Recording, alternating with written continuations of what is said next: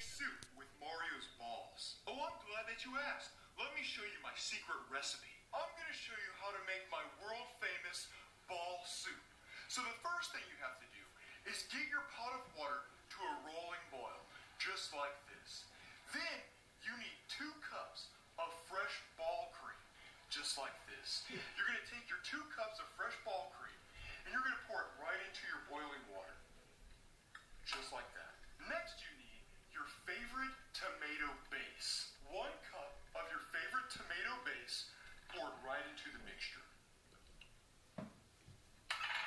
Then, last but not least, the main ingredient.